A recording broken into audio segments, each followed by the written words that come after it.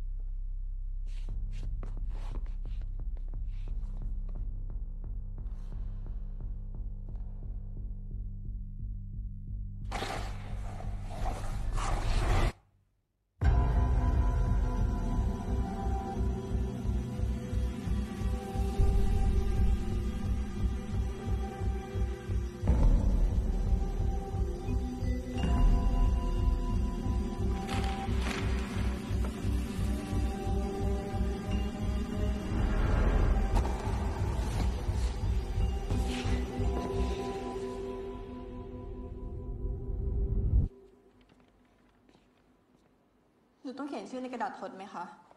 ก็ต้องเขียนสิ เธอไม่เคยสอบเลยไง ขอโทษค่ะ